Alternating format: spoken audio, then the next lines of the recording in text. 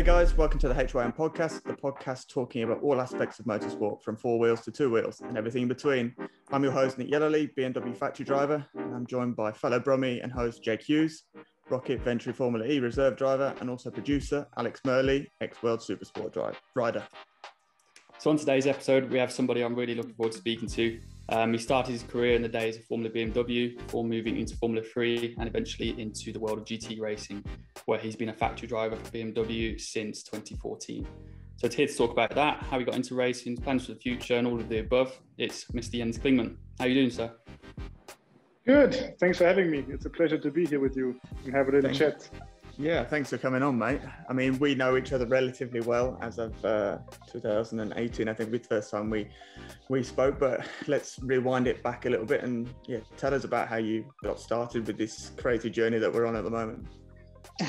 so yeah, I just turned 30 last year, and I think I started racing probably like you when I was uh, quite young. I think I my father bought me a go kart. I remember the day when I was five, oh yeah, five years old and I was now I'm quite tall, as you know. yes. But back then I was uh, quite short and uh, very light and skinny, and I was really afraid of of going to the go kart track. And that was when I was yeah, like five six years old. And then our friends they had a little farm next to Heidelberg, next to Hockenheimring, yeah, where I initially come from. And I was so scared of taking it on the racetrack, so I just uh, drove it at the farm, just in circles and then at some point I felt ready and we went to the go-kart track in, in Walldorf where also back then already Sebastian Vettel started his career. Not exactly there, but he was also one of the guys racing there in the Bambini class. And that's uh, where, where I picked it up basically. And you know yourself when you're young, then you just do it as a kind of a hobby and you have a little bit of a passion for it, but you obviously don't know what you get into all of a sudden. And then it just was was growing there from there on, to be honest. And cutting a long story short, and up to to go karts, uh, Italian Open, which was a good thing back then, and even European Championship, and then I won the German Championship also. And then from 16 onwards, I basically jumped into Formula BMW, where I probably set the basics uh, for being back with them since 2014. Won the first year as a rookie, rookie champion, uh, and won the, the championship in the second year. And we had good drivers there, like uh, Marco Wittmann was one of the drivers, uh, Christian Vietoris, who used to do to race DTM with Mercedes and some other good guys. And um, yeah, then moving on to Formula Three, where I didn't probably have the best uh, best car back then. Was also the first year with Volkswagen. And then I also realized that at some point, if you want to earn money with this sport, uh, because then it was I was about yeah, 18, 19 years old. Then I moved into GT racing. I was really lucky enough um, to get invited back then by. Um, first of all, it was uh, BMW Alpina, and they invited me to do a test in in in Magny-Cours, and I think I did well. I, I, was just driving; I had no no idea of how to treat a race car or if the shifting was good or whatever. I had no clue about uh, balance. I just drove, and it was good. But then um, I raced a couple of races with them, but I didn't race the full season in GT Masters.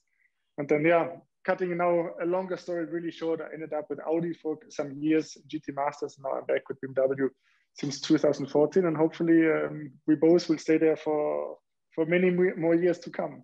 Yeah, exactly right, mate. I mean, I'm sure we will do. Uh, being a BMW is a, a, great thing and a great series of it's the best manufacturer. Yeah, for, by miles. Yeah, oh. exactly by miles. So it's clear. yeah, Jake might have a little objection with that. With his have to be a bit careful. but yeah, I um, mean, in general, um, GT Sport. Actually, I didn't realize that you had started so young. So for me, I was actually 15 when I started, so quite late. And Jake as well was 15. Um, when did you start racing in bikes, Alex? I actually uh, never asked you. So I was oh, uh, 2012 was my first season. Yeah, so I was 12, 13 when I started. 12, 13. Okay, okay. So yeah, yeah so it's amazing different people.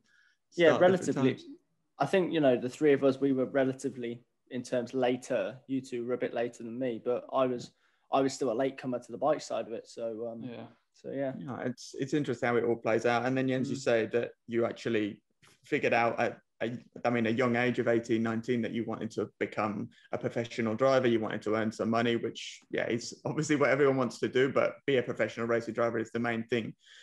Um, why did that decision come about? Was it lack of funds in, in, the Formula cars? Because that's a you know a big big thing, or was it just you preferred the GT side of? Mm, that's a very good question. Actually, I, I think I have never talked about this to be honest before. So that's that's a good point. Yeah, mate. yeah, you raise a really good point. I think to be very honest, um, the Formula Three didn't go so well, and back then it was Hülkenberg, Valtteri Bottas was there, Alex Sims, uh, whatever, Charlie Kimball who races now IndyCar. Um, probably I forget most of the big names. Edoardo Mortara was there, but really, really good guys. Good it was guys, super yeah. competitive, and you had to had to be really spot on also in terms of um, well every in terms of everything, but also the car and the engine, everything. And then the second year I could have done because back then I had a manager, but he had a good contact and um, also to first of all to Audi in first place. when I was at Volkswagen, um, they also gave me then later a shot with Audi. But it just it just turned out I had always a favor of touring cars, and even when we went testing with Formula Three, and I even saw the the Porsche Cup cars driving with us in in a different class. I, I thought I, I, would at least want to give it a try because it felt like it's it's really cool and it looks cool from the outside.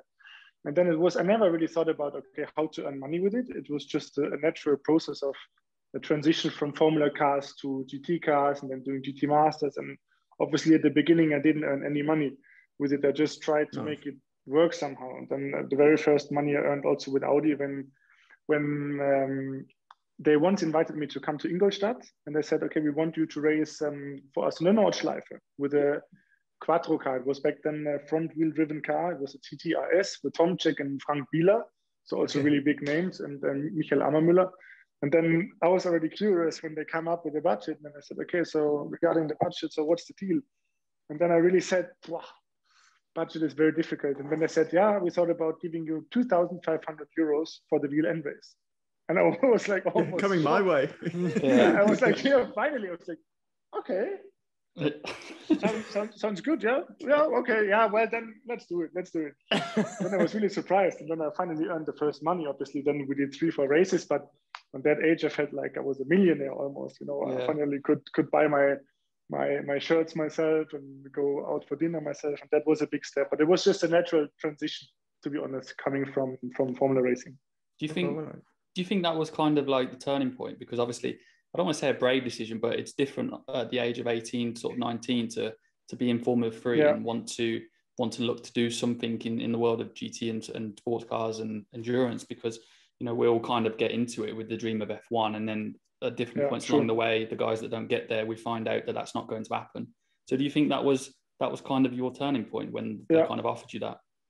Yeah 100% at the beginning i didn't feel so yeah, well the success doesn't come along very quickly then you feel like okay was this the right choice or not? But in the end i have to say it was for sure the turning point. And now as i get a little bit older doing this for quite some years now I wouldn't want to do anything other than GT racing anymore. I feel so well where I am, and also what Nick already knows, developing now the M4 GT3 and so many more uh, perspectives you all of a sudden get, like doing some PR for managers, and you know yourself, it's it's a big field of what you can do other than just going fast for one lap. And that mm. was clearly a turning point. I'm very glad that it turned out that way. But as we all know, in racing, I think sometimes you also have to be really lucky to be at the right spot at the right time. And also when BMW then gave me the first contract at the beginning, it was not not like a works contract. They just said, do a race for us. And all of a sudden, one morning I woke up and I had a contract about doing one VLN race in the 24-hour race of Nürburgring. And I said, okay, this can be can be good finally. Yeah, it can it can change, you know, super quickly as well. I mean, yeah. from my experience as well, I did my first race with BMW as a one-off. In fact, you were there. I'm pretty mm-hmm. sure 2018 in Silverstone with. Um, I was there. Yeah, you yeah, were there. But you so. did amazing from the first lap already onwards. yeah, well, that was I knew the track well, so and just yeah, that helped and everything. But it's amazing that I actually did that quite late on that. Again, 2018, mm-hmm. I'd already been racing since 2005, 2006. 2018, I was 26, 27. So it's quite a lot later that I'd moved over from single seaters to, to the GT side. And Jake actually at the moment is in the, the process of becoming a professional driver, he gets paid already, but in GTs, most mm. likely, um, or maybe Formula E, we'll, we'll have to see how it all plays out for him. But um, as I've been speaking to him a lot, and he knows that in in G, in the GT world, I've never had so much fun ever. Mm. Uh, you know, in single seaters, there's so much pressure. You're you're breaking the bank here, there, and everywhere. But it's more the the fun and the tracks you get to go to. The endurance side that I've been explaining is super good. So, a question for you would be: Is the Nordschleife the best track in the world for for one, hmm. and and two, the endurance side of things? Is that your favorite, or is it still the sprint sprint style? Um. So, as you won it last year, it could have been my favorite but as you ended up winning it, it's maybe it's not as good as it could have been because you know yourself you love Sorry, the tracks man. where you where you where you have success and obviously those are the tracks you you like to come back but it's for sure one of uh, my very favorite tracks is i think the most challenging track on the planet i would say so even the length and without having any runoff and when i started racing the nordschleife i felt like going 90% or 95% you end up being super fast and nowadays it feels like if you go only 99%, you're really obviously too slow. It's like a qualifying lap every race. So coming back to the question, I would prefer the endurance stuff to be honest, because I think it's just um, the next level in terms of you need to share the car with a teammate. So it's a proper teamwork. You need to manage the car. You need to manage the tire. And it's a little bit of a different story than just having a short sprint race. You can play with the strategy. But in the end, like on the Nordschleife, as we know, it is just a sprint race in the end. It's just a sprint race over 24 hours. I think that makes it so special. That's why I would always prefer the Nordschleife. I think this year, uh, hopefully, we have another shot, not together as far as we know. No, maybe not. Maybe we can turn around this year and make the Nordschleife my number one track then. yeah, yeah, sure. The, the you won it time... last year, mate. So give me a yeah, shot now. Yeah, your turn now. you, can't be, you can't be too selfish, mate. um, no, the only, yeah. the only time I've ever raced a car with a roof over my head, um, and I think it's something I mentioned in a previous episode. Um, it was actually in a BMW. I was part of the, the BMW mm. junior team in 2014, where it was his first year. Um, mm-hmm. And they put us in um, the 235i. Um, yeah. And it was, it's like this, you probably, um, you probably developed it, but it's just like this road car yes. basically with the seats stripped out. Um, still yeah. got the still got the DSG gearbox in it, and the stick and, and the center console and stuff. But I remember going on the Nordschleife, and it was just it was a different world to what I'd done at that point.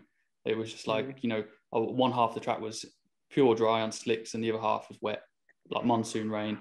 Um, and it was the first lap I've ever done on it. I just, I was like, this is, to be honest, you felt a bit out, out of your depth to begin with. I don't feel like that's bad in saying that. I think probably I still most do people now, do. Mate.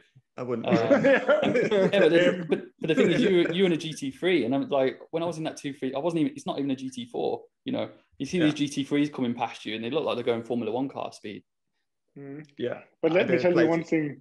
Let me tell you one thing on a GT3 car, it's almost easier because it's way faster, but you have so much platform and so much control, and it's more precise that in the M2, or now it's the M2 CS Racing, uh, since this year, there's more roll and it's not as precise, and there's so much movement in the car, which also already scares you, kind of.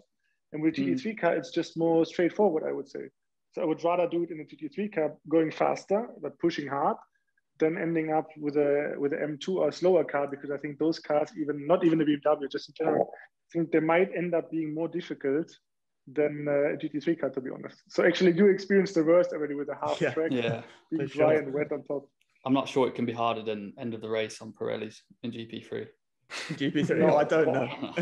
I don't know. It depends, man, because sometimes also with the GT3 comment, it's you're always doing the overtaking. Whereas if you're like a 235, you're trying yeah. to do some overtaking of yeah. the small cars and then watch your mirrors at the other cars, the GT3 cars lunging you. And I, I did, mm. um, I think my first or second race at the Nordschleife was in a 235. And I remember I had to do, I think it was Joel Eriksson, he couldn't come or, or didn't come to the to the race. So I did four hour on my own in a 235. And that's the most tired I've ever been, I think, getting out of a car. Mentally, I was just done. And that's where the mm. Nordschleife really gets you more than anything is the mental concentration when you're in the night, in the rain, like last year Jens. I mean, mm. that was horrible a lot of the time with the dark. And I for me, it was actually not so bad. Did you not do too much in the dark, or was it? Was it? Uh, yeah, I mean, no, I did some for me. Dark, yeah. You did some in the dark because for yeah. me that was my first time actually in the dark properly at the Nordschleife, and then it rained. The race was so I was shitting myself if I'm honest. Yeah, sure. It's very difficult, especially as you said in the night you cannot see where the water is standing and the amount of water is difficult to judge and then all the lights and maybe you end up with a gt3 behind you and all of a sudden you just see see white from the mirrors, and it's it's that's another aspect why it's so challenging. I think on the Nordschleife. Yeah, no, I completely agree. So if we take it back to how the BMW thing started, you said you did some yeah Formula BMW. So I guess the first contacts and, mm-hmm. and them recognizing you was from there. Then your yeah. first GT experience with them was was what?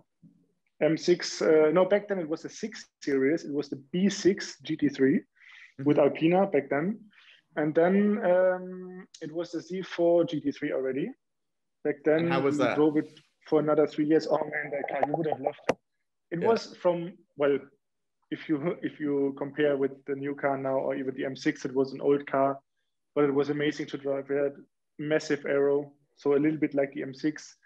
Uh, the power was not extraordinary. That was a little bit of our weak point, but it was so good to drive. Then the M6 was a huge step forward with a proper traction control and better ABS and everything. But the car itself, and especially the engine sound, was amazing, man. It's it was really good. It sounds it. it. sounds next level. Unfortunately, I haven't driven one yet, but I keep asking if there's any like a classic car. You know, can I just jump yeah. in and do some laps? That that team that we both know AAI have one in yeah. Sepang. Uh, that's ready to go, but we couldn't rent the track when I was out there to, to let me have a go. So I'm still waiting and nagging for that, that opportunity to drive one because they just sound so cool.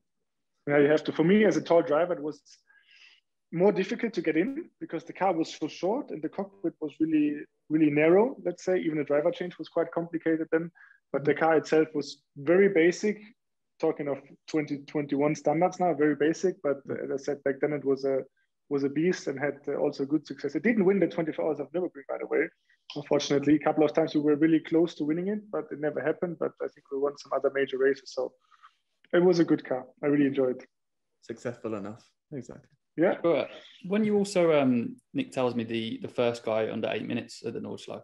Mm. That was a um, lap. Yeah. Just drop the mic. It, I didn't know back then. It only counts when you do it in the race, and in the qualifying we ended up with 8-0 or 8-0-1.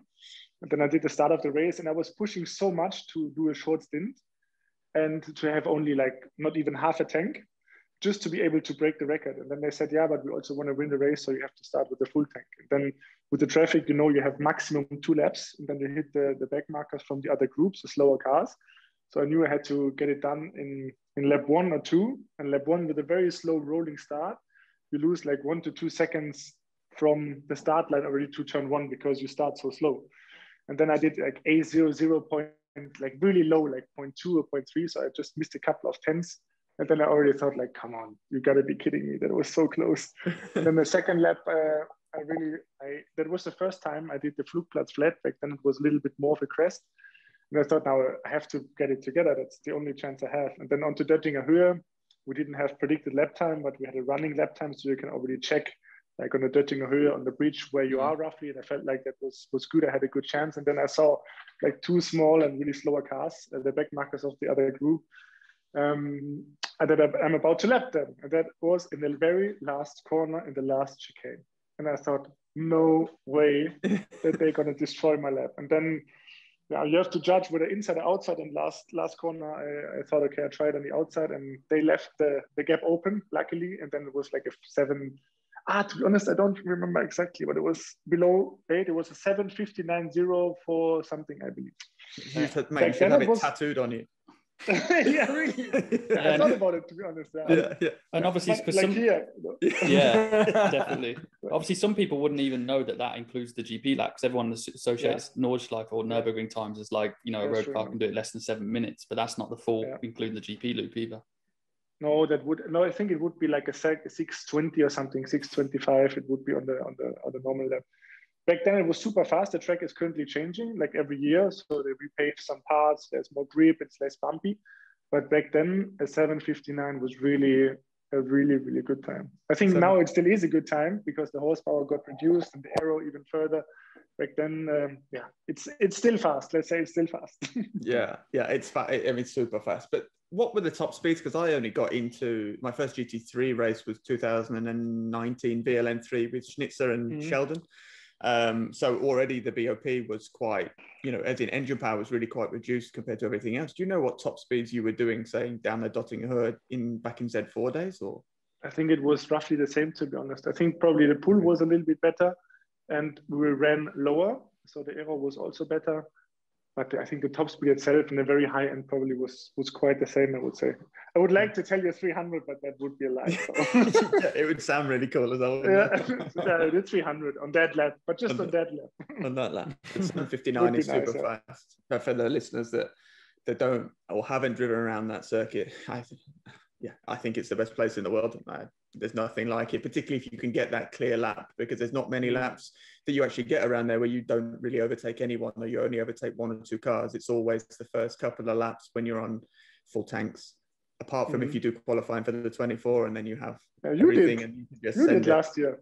Yeah, uh, that's the first time I've had nothing to overtake. It was quite, it was weird actually. I felt really alone on the outlap in particular, where you're trying to find your, try and find your way and look because you know you've probably only got one lap to get it bang on um, mm. to look exactly where all the wet dry bits were if it was like it was last year and then just yeah send it and hopefully you stay on the circuit. So, uh, so what, i think you send it quite well what, what's your what's your fastest lap around the nordschleife nick?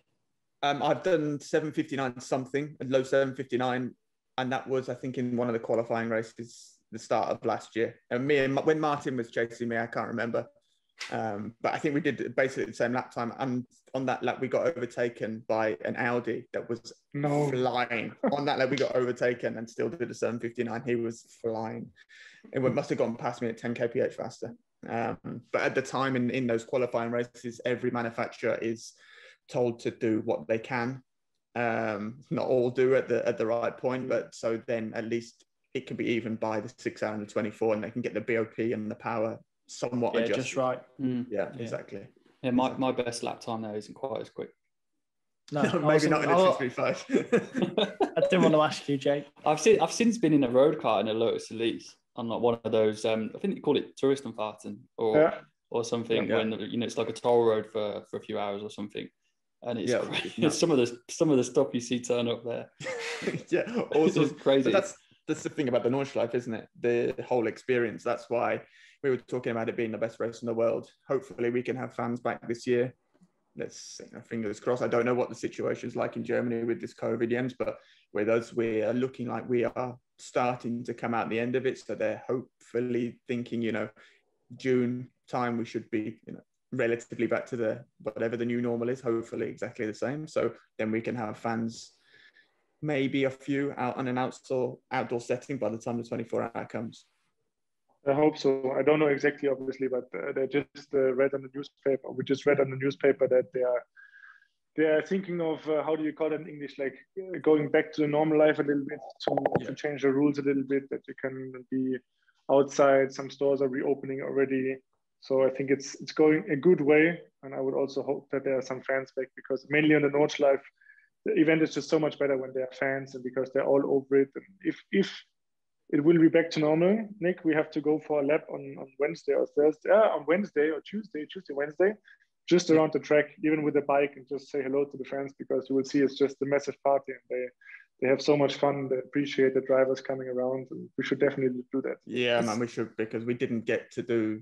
I haven't done it yet because 2019, yeah. unfortunately, our car uh, was well, I think most of the cars, unfortunately for BMW, were out by you know hour three, hour mm. four, and then last year there were no fans. So mm. as an ex- whole experience, you didn't get you know the parade or anything like that. So for sure, we need to do mm. that. isn't isn't it? And now you're race winner, so isn't it Brünnchen where all the like the party goes off? Basically, it also, it's pretty much everywhere. I would say. Like a couple of years ago, I took my took my bike out for for not a lap on the track, but around the lap just to see some campers and uh, even have a beer with uh, some of them. and it was Tuesday afternoon, I remember, and the party was on. I can tell you that was like a massive party. And I think some of them, they don't even know the outcome of the race because they start partying early in the week. But that's just part of it. And they were so happy. And ah, your driver, and ah, cool, come over. And everybody is like not willing to help, but it's a big community and they are just enjoying the racetrack and, and, even the race. And I think most of them are around for many, many years. And so us probably winning 2010 already with the M3 GTR, but then GT2, and yeah, it's just a big, big community. And um, I think that's also what we miss in racing, just the spirit of it and the people that they're cheering for us and they're clapping and enjoying what we are doing. Because in the end, it's also also entertainment, you know. Yeah. It's all about all about the fans. And for the Nordschleife, like you say, you have almost different cults. So you'll have like BMW massive fanboys, Mercedes massive fan base, you know, different manufacturers, different classes mm-hmm. that everyone maybe takes allegiance to slightly. So then those fans, if a BMW goes by, all have the flags up and they're, and they're waving, and it's really like nothing else I've ever seen yeah. in my life, which is yeah. super cool. And yeah, I mean, racing wise, like I say, it's the one of the best things I've ever done. But going back to your your racing career, obviously most of it's been with BMW since you've gone. Yeah. You know, you've been in GT3s. What has been obviously you've had a load of highlights. You've you've had podiums and wins at some huge races. But what has been, say, your favorite season? Was it out in the States? Was it in Asia, in Europe? What do you think? I mean, I think I know what you're going to say, but it'll be good for the, the listeners to. Uh, I know that you know what I'm going to say. so that my future favorite season will be with you. Thank Hopefully, you, one day we make it back uh, together. Yeah, look at this uh, romance. to look ahead. No, I think um, once a special race, just race that comes to my mind was Petit Le Mans with the Z4 GTE. It was pouring down. I haven't driven the car for, I just drove it in Daytona and Sebring. I haven't driven it for half a year. I have never been to Road Atlanta and I have never driven the car in the wet without ABS. And I got in the car practice one for like 10, 15 laps. And then I got back in the car for the race for the third stint. Nice. And it was raining and I was so nervous because they were fighting for the championship, for manufacturers championship, and also for for I don't know, it was endurance and even the the drivers, I believe. Anyways, they were fighting for championships, and I was so nervous. I was really shaking.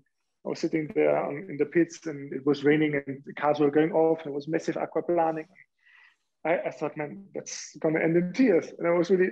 And then at some point, I had to go in the car, and then it took didn't take me a long time and then I, I, overtook one of the corvettes who were then already whatever like fighting for a podium and then i overtook the second corvette and then i thought okay man this is going well and then augusto farfus was was in the lead then overtook augusto in the ss on the outside and then i was like man this is going well really well yeah. I, I, did a double stint they red flagged it and then it was lucas Luhr and john edwards with me in the car and I said, okay, obviously I need to restart the car because it's red flag. And then nobody wanted to drive again because it was so risky still. And then I said, okay, Jens, you know the track best, so you go out for another stint. And in the end, we finished uh, second behind the Porsche, but they were like two seconds faster. We finished second overall, so even in front of all the prototypes back then, the DPIs. And I was so proud of myself because I felt like I overcame those difficult conditions. It cannot get any worse than that, other than the Nordschleife, by the way. And I was, even though we finished only second, but second overall in Petit Le Mans was uh, was a very good achievement, and I was so proud of it. And I still have a, actually this trophy hey. that I st- still have here. It's still of, full of champagne and a little bit dirty, but I think it's more more authentic like than. Yeah. was that the uh, Nick Tandy one? In Nick Tandy won it back to yeah, that year remember it now, with yeah. the Porsches. But that was yeah. a hell of a race, and I think I personally like that what Nick already mentioned earlier. What he thinks that I'm going to answer. I like racing in the US because the races are quite intense. That's awesome tracks like Laguna Seca, Daytona as a as a starter of the year. Then uh, whatever Mans, Watkins Glen, Long Beach. We raced uh, almost in Los Angeles downtown in Detroit downtown. It was awesome tracks. The community is great, and I just like the spirit of it. And you can always connect with a nice road trip as well and see yeah. a little bit of the US. And I learned a lot there, and I also enjoyed racing there a lot on the track, but also off the track. And I'm not saying that Europe is, is worse; it's different. But for me, I enjoyed racing in the US probably the most. And also when we won the first race with the M6 there, after being a, a big part of the development process there, we won in, in, in Mosport, the first race, which was the third race of, of the season, Of fourth, doesn't matter. I finished second at Sebring the first year with the M6. It was a good achievement. And then uh, I was really proud of that as well. And that made it really special from the beginning onwards, basically. No, sure. I mean, the States thing, I was lucky enough, actually, partly thanks to you introducing me to Will Turner and and then you being busy for the for the race in Sebring last year to go out yeah. last minute, having not been to Sebring. So you gave me some tips and on how to work with the team and, and to drive the circuit, of course. But I loved it because for me, it's every time you get, well, not every time, but most times, if the situation allows, you get reset when there's a yellow flag. So you can have a 20, 25 second lead and then it's all reset. You're all next to each other as in classes. So you've got your DPIs, your LMP2s, GTLM, and then your your GT Pro or sorry, GTDs at the moment until mm. next year. And then it's like a race start every, say, hour, hour and a half if there's a caution, which is completely nuts. So you have to be on it all the time. And that's what I didn't appreciate in comparison to, to Europe, where they say maybe just full course yellow it. And then it's, yeah, you sit mm. there for two or three laps doing 80 Ks an hour, but then you have the same gap as long as you get on it good enough. But the racing in America, having only done one race, is for sure where I'd love to just go and, and do a full season, just see what it was like. Yeah, I completely agree. It's a little bit more rough. It's a little bit more basic, I would say. The tracks are more, they have less runoff, which I also like. It's not about saying, ah, oh, it's maybe not as safe as Europe, but it's more challenging. Even racing in the streets like you did in Monaco when you won one uh, back then. I mean, it's just a different kind of challenge, a different kind of approach and no tire heaters. You know, you're going to send it on the outlet. You can play with the strategy because a normal race is two hour 40s. Um, then you have uh, yeah, several scenarios, as you said, with a full course yellow where it resets because they don't have only a full course yellow, they have the safety car then already. Yeah.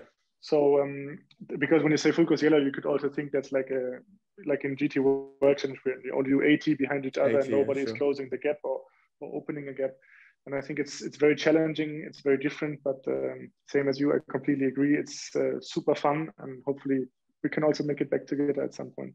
Yeah, I mean, I mean, I, have never done it, but I kind of always, always associated racing in in the US as kind of like sort of the best racing you might find be able to find in Europe or elsewhere, but without kind of the politics. I don't know if that's kind of true, um, but that's how it kind of looks to me from the outside watching them, and I don't know. It just look it just looks like it's like you say it's pure racing a bit more.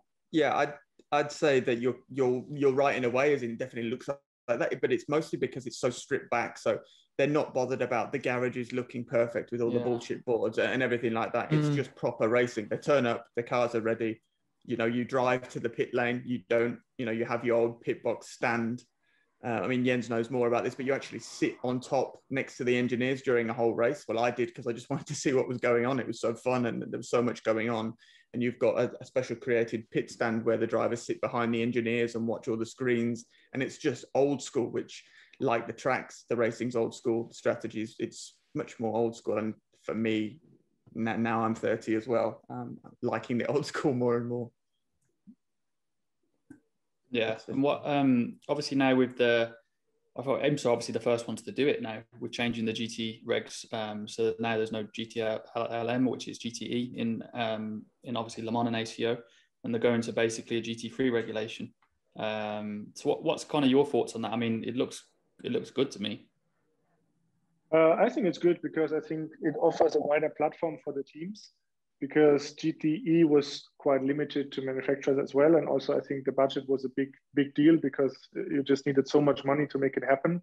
I think we will see probably more teams and better racing because I think GTD is one of the best classes there is, not even IMSA, but also on the planet because, uh, first of all, so many different manufacturers and the people from outside, the spectators, the fans, they can still identify themselves with the brand, you know.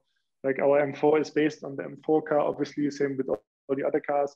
And I think the racing is just more spectacular because it's not like a proper prototype where you lose one one little flap and you have to you have to pit and then uh, do an extra pit stop. I think uh, the cars can also hopefully take a little bit of of a, of a damage, let's call it, and it's just better for the racing itself. And gentlemen drivers can race it, uh, amateurs can race it, uh, pros gonna race it. Obviously, then I think it really widens the platform and, and, and offers it also to the teams because even now with DTM switching to GT3 cars, okay, they don't have too many um, cars yet on the grid, but I think it's just a question of time. And GT Masters is completely full the grid as far as I know.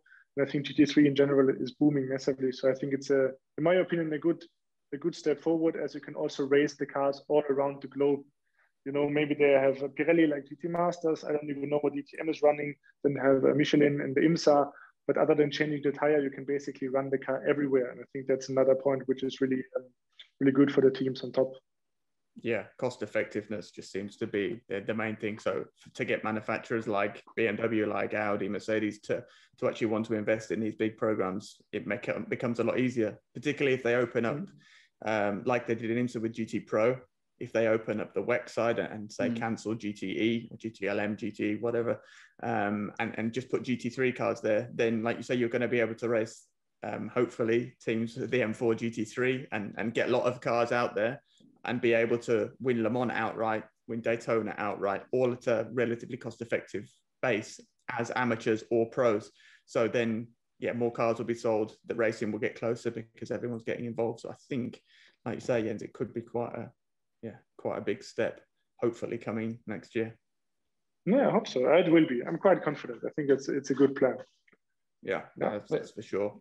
It's kind of like what we said in another episode, wasn't it? That you know, particularly in the context of sort of Le Mans and getting an entry for Le Mans, we'll have so many people that can now take their car to Le Mans, but will need to get an entry for it. That all of a sudden the other championships will, will get more more cars mm. in the mm. grid as well.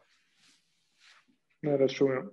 Yeah, I mean, self fulfilling, isn't it? The more cars that you have, or more championships that you have running that car, then those, yeah, whoever is rewarded for doing well in those, yeah, get developed for, further forwards and get to do the big races. So it's just going to make competition better uh, in general and just be yeah, really quite cool. I think uh, I think also you know for the fans coming in to to learn about GT3 racing as well, it's going to make it like more streamlined as well. So you know people from national people watching national championships or stuff out in America or Europe, you know they'd be able to see that and then go, well, the aim for those guys is Le Mans and stuff like that. So I think it's going to be I think it's going to make it really interesting. Really interesting. I think it should do. So back to the back to the stuff with BMW. Obviously, you are the main guy or one of the main guys with the M6 development, um, being involved in all, all that sort of stuff. You do M4 GT. 4, 235, 23, well, the M2 CS. So you're the development king, particularly on, on the BMW side. And now with the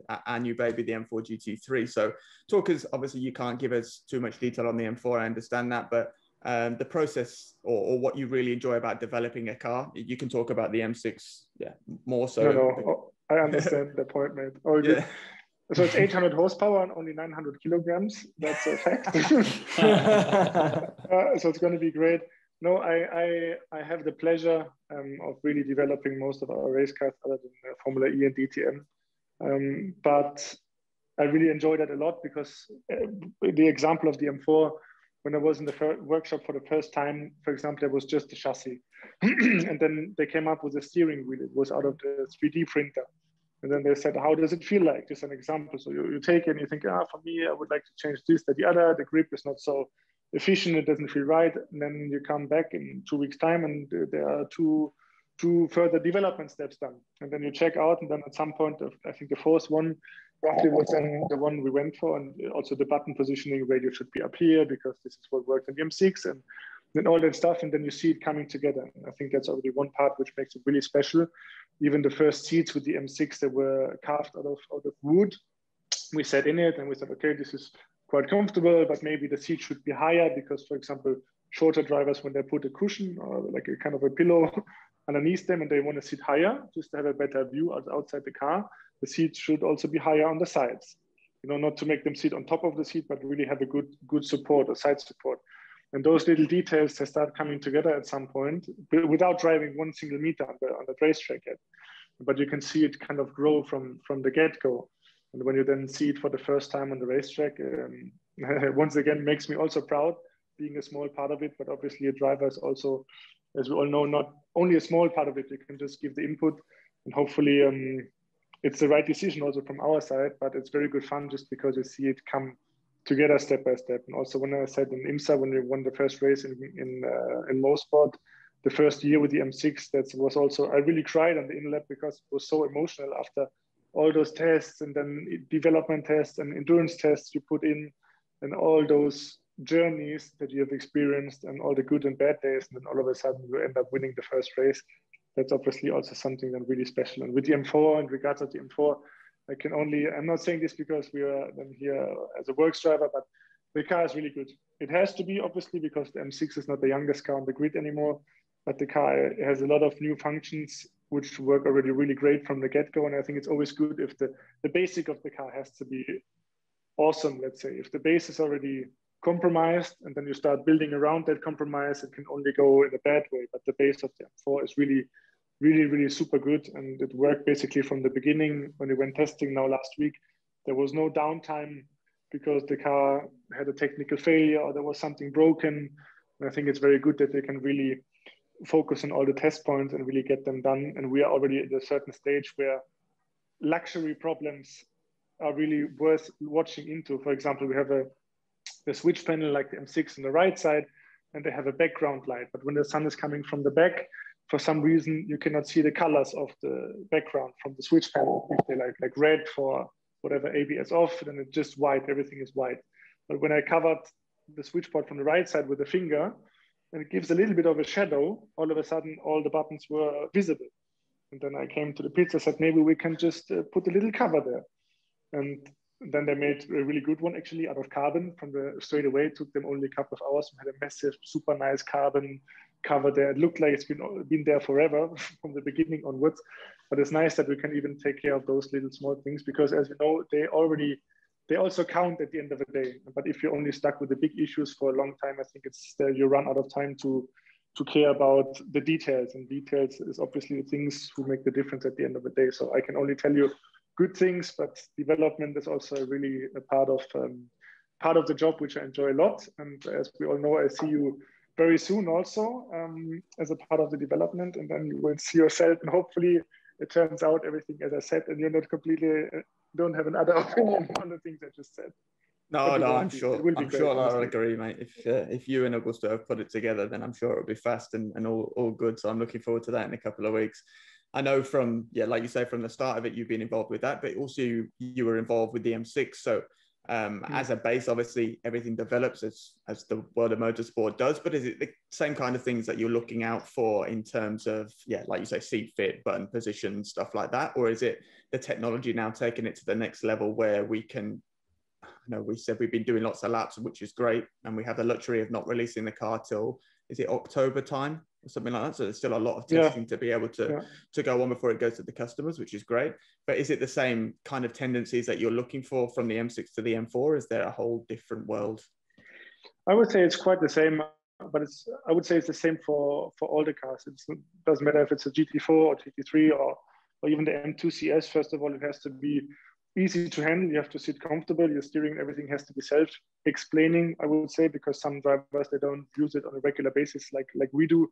Even gentlemen drivers on the on the GT3 or GT4, it has to be easy to to operate the car. I would say, and I think that's already a good approach, first approach, and that has been the, basically the same with the M6. But the M6, we had some uh, it's not a secret, some issues with the gearbox, for example, and then the cooling was not so efficient. So we had to go up north to Sweden to go testing just to, to be able to test because otherwise the engine would have would have died. And there were like a, a lot of things, like big things that had to be solved before going in detail. And that's why I mentioned it because now with the M4, you, you start the car, you go and it drives. You know, there are no big problems or any problems. And the beginning of the development, I can tell you, was just basically scanning because you have the car, it gets built on a piece of paper, it gets built with a computer. So you first of all have to check if the real data matches the computer data. So you put like different wing positions, you drive every possible position once, you match it with what you thought it would do, just to make sure that it actually happens what it's supposed to do. And if it's not, then you have to have a look why it doesn't. Um, and that was the first steps, to be honest. It wasn't about driving a particular lap time. It was just about driving the car, driving all kinds of setup, just to do some scans, like roll bar scan from very soft to very hard, and just doing everything once with a lot of system and application stuff in the background. But now we are that is all done. So now we really go into into performance testing already, and also then into endurance running because uh, as we all know, this car doesn't have only to race for one hour in GT Masters, also has to to win the major endurance races, um, probably starting with Daytona in January 2022. then it has to last 24 hours at least. So we do already some endurance testing very soon and, and make sure that it lasts because the sooner or the earlier we figure out, we have more time to change because at some point, middle of the year, you have to do the homologation as well. And then the parts are homologated, so you cannot change too much again. Then you can only develop a smaller, smaller window. Um, and that's why I think it's already in a good schedule, at least for the moment. I've, got to say, from personal preference, I prefer the look of it compared to the M6 personally. Say again, sorry. I've got to say, from a personal point of view, I yeah. prefer the the visual of the M4 compared to the M6.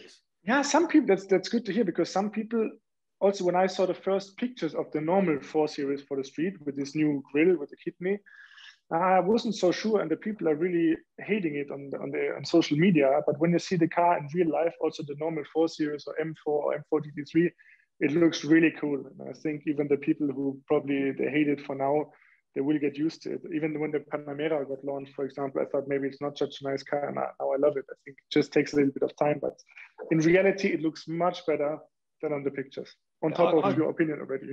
I, yeah. I quite like the grill and the road car. Yeah, yeah I like that. It's good to hear. Think, I, think it looks really aggressive, doesn't it? Yeah. Yeah. It's, it wants to eat you when it comes yeah, exactly. from behind and uh, watch the mirrors. But wasn't yeah, it just going with your world, Alex, with bikes? Wasn't the um was it Miguel Oliveira? He won one, didn't he? When he won the first the race in Red Bull Ring.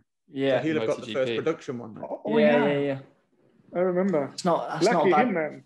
That's not yeah. a bad day at the office, is it? You win your first race and then you get a nice new. Uh, it's, yeah, it's better than the kick in the teeth. Because oh, yeah. that was at the red. That was actually at the launch mm. uh, for the for the M4 and the and the GT3 because I think Philipp was there doing some uh, slow de- demo laps with the, yeah. the launch of that with Dorna and the MotoGP and Markus yeah. Flasch. So that was that was uh, all of that, and then you win. It was slow demo laps, uh, but it was already super fast. Yeah, exactly. Yeah, lap compared record, to GT Masters lap time. Yeah, so, so. yeah very confident. maybe, very maybe confident. it's because it was Philipp driving, not us. Uh, maybe, yeah. can be. That's a good yeah, point. Maybe it can That's be. a valid point. Yeah, exactly. Nice, yeah. yeah. And how and how about then? So if we talk about some of your highlights from from racing, you've like I said, you've been on the podiums, you've won plenty of races. If you could give me your top three sort of races, I know you've given me one in order, uh, and why, that would be quite a cool thing to for the fans to you know hear from your perspective. Yeah. Well, I have to think about it for a second. Yeah, well, I, I pick two different ones because I could easily say then uh, the second place at Sebring was really nice because it was the second race with the M6 and then the first win, but I already mentioned that, so I have to go for something else. So let, yeah, let look at the trophies. no, let me check. I have I have one one cool one because it was um, in Texas. Um, yeah, Austin. We didn't feel like we had a good car for the race. It was my teammate's home race. He lives in uh, in Austin, and we started, I think, around P12. So I felt like, ah, it's going to be a long and difficult race. It was super hot. I got into the car, took over, and then all of a sudden we were leading the race. And the car was really competitive only in the race, but don't ask me why, but it was so fast. And then there was one more pit stop to do, and it was freaking hot. And my my mechanic, who was supposed to exchange the drink bottle because we only change it when the driver stays in the car. So um, my teammate had it all on the first stint. So I didn't have anything to drink on the second stint. And the third stint, I was supposed to get a new drink bottle. And he was so excited of the performance and that we're leading the race that he didn't connect the bottle. He just oh. plugged it, but it wasn't connected. And I was sweating. It was really, really bad and really tough. But when you're in the lead, it's obviously a lot easier to to to get motivated again. And that was a really spectacular race because it was his home race. And we really, fun fact, had a very nice party because he had a party organized, unless of the outcome of the race with friends coming over and family. And he had a really, still has a very super nice house there in the area. And it was just nice winning the race from having no expectations when you go into the race, then suffering a little bit, but then kind of also earning the victory and then having a very nice party at his home was really super nice. So that was maybe not the best races in my career, but uh, one I really remember and uh, what a good, was a good time. And what else? Normally, I would say Spa when we finished second, just around 10 seconds uh, behind uh, the winning sister car, which was uh, Philipp Eng, Christian Krognes, and Tom Blomqvist. Yeah, but then simply was with me in that year. Ah, okay, that year. when we finished second.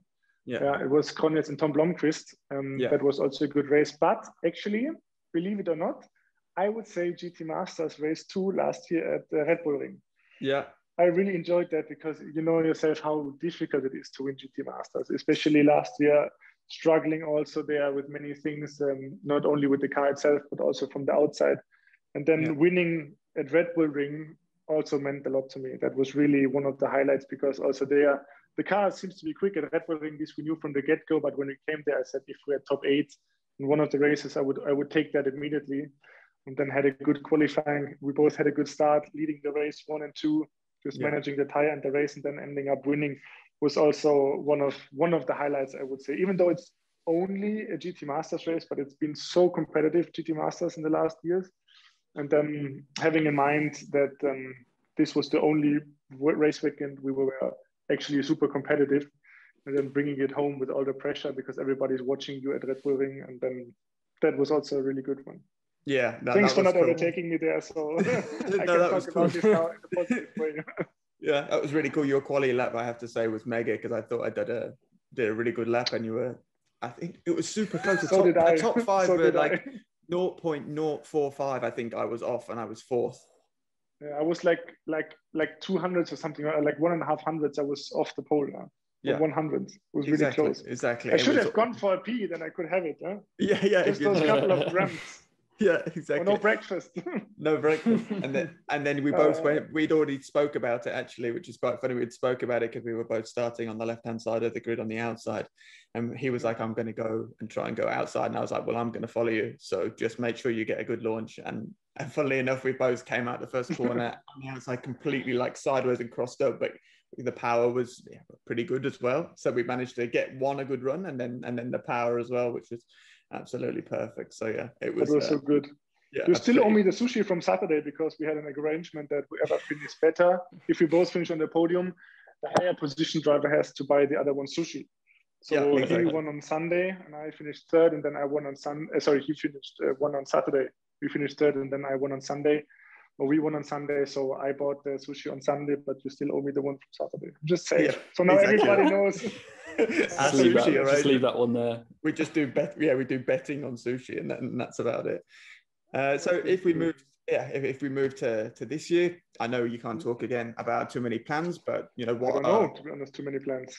Yeah, it, it, that's the same for most people. So as COVID, I would say, affected you like it has most most people as well in terms of of programs being a bit slower. I know it has from my side. Um, yeah. So just talk us about obviously your COVID experience. We had, unfortunately, we we managed to contract it last year, which wasn't the, the most fun thing we've ever done. Um, but yeah, after that, we've we've recovered and, and now we're into a new season. Do you think it will get back to mm. normal? And what's your opinion on it? I, I would hope so, obviously, as everybody does. But as long as we can go racing in a safe environment, I I think we can be really happy with that because traveling nowadays is not so easy, especially I think also from the UK, at least at, at the moment. So I think as long as we can travel and do races, I would really highly appreciate that and be happy already that just to make it happen, even if there would be no spectators, but no spectators is obviously a lot better than not going racing. Um, I'm going to do VLN. Uh, now it's called the NLS um, and 24 hour Nürburgring again. And once again, trying to beat you there.